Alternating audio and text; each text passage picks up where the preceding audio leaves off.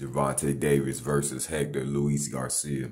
Hey man, all respect to both of these gentlemen for taking this fight. Um, although Hector Luis Garcia might not have all that uh, notoriety and uh, all that uh, fame and whatnot, Hector Luis Garcia is a legitimate threat and a legitimate fighter. He just dismantled Chris Colbert. Chris Colbert came into that fight with Hector Luis Garcia with the utmost confidence. I watched round by round as Hector Luis Garcia stripped him of such confidence. At the end of the fight, Chris Colbert was broken. Hector Luis Garcia obviously beat him. He beat him pretty good, to be honest. Um, he's not no gimme. Skill wise, in my opinion, his punches aren't as accurate as Gervonta's.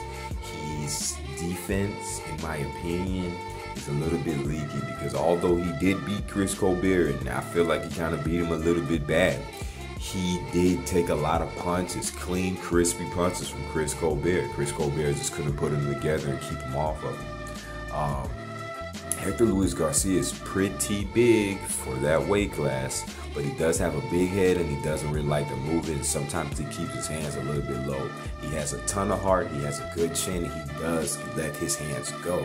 Gervonta, in my opinion, I mean, I have to be honest, he's one of my personal favorites. So I have to try to be as unbiased as I can for this. But Gervonta, skill wise, I love his skills. He utilizes a jab, he utilizes the pivot, he utilizes head movement, he utilizes parrying, he utilizes rolling. I mean, he utilizes almost every skill and technique I could think of when it comes to boxing outside of the, the hand pull when you have a person with a high guard up. Um, Gervonta's a beast, man. He hits hard. He's a dog. He trains hard. Um, I feel like I give him a slight edge for this fight, but I have to be honest.